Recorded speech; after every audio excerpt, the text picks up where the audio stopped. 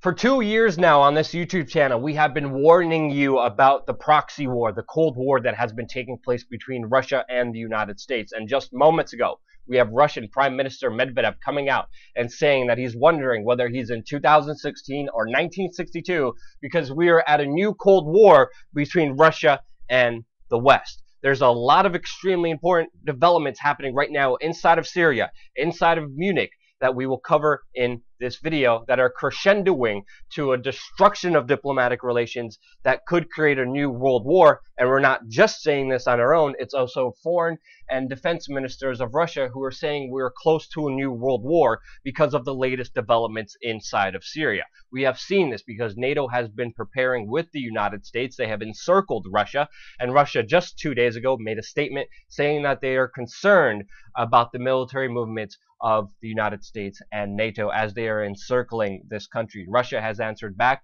and they're also strategically placing their troops and their military forces all along the border where NATO has its major forces, where it has its major bases against Russia. Now, why is this happening right now? Because as we're speaking right now, the Syrian army with Russia, with the Iranians, are very close to getting rid of the ISIS stronghold Raqqa. If Raqqa falls, the war in Syria will be close to over. Now, with this happening, we have Saudi Arabia and Turkey also making grave moves because they do not want to see Syria and Russia win within the region.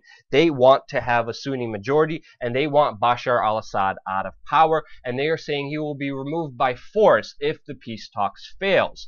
Now Saudi Arabia is saying this publicly, but what they're doing is pretty much preparing for a full all-out war by sending fighter jets to Turkey and preparing their troops in the region to be deployed for a full all-out scale invasion. Saudi Arabia on the world stage is saying that this is to fight ISIS, but as we're seeing, their major goal is to get rid of Bashar al-Assad, and that's why Saudi Arabia and Turkey are pushing for the Syrian opposition to leave the peace talks in Munich right now, because if they leave, they'll have their justification to come in with their ground troops and invade Syria to get rid of Bashar al-Assad, not to get rid of ISIS, which they have been financing and supporting because they are mostly Sunni rebels. In the region, we're also seeing Iraq take a major stand against Saudi Arabia with Iraqi security officials saying that the Saudi troops will be in a graveyard if they dare cross the Iraqi border in order to have their ground invasion of Syria within this region right here. The Iraqis are even coming out against Saudi Arabia, against Turkey in this important region. Many people are saying that this invasion has already happened, but this has not been confirmed. I'm also looking at all the news reports as I'm making this video because this news is just breaking right now. But we know Turkey has shot down a Russian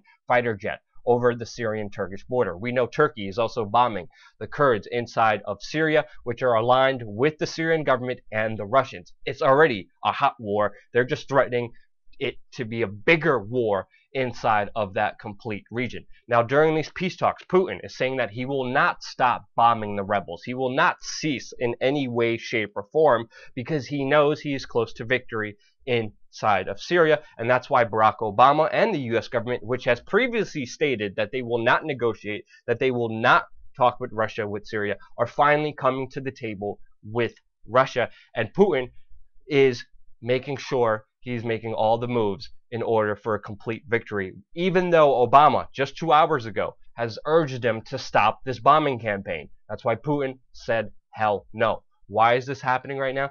And, and again, it, it, the situation is very complex because right now we have U.S. allies fighting CIA-backed rebels in the region. Iraqi militants who once fought ISIS with U.S are now helping and working with the Russian and Iranian forces to crush American-backed rebels in the city of Aleppo, which is also another ISIS stronghold.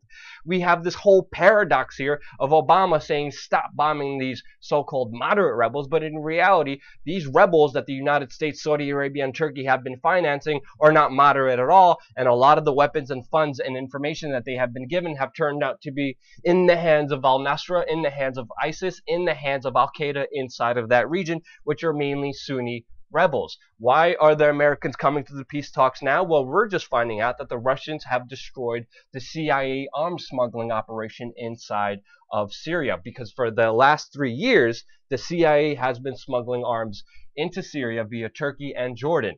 Right now, Russia has stopped that corridor. They have stopped that major route of weapons into Syria to finance the mercenaries, to finance the mainly Sunni rebels in that region. And now the United States, with its arms, with its weapons, cut off. They are finally coming to the peace talks.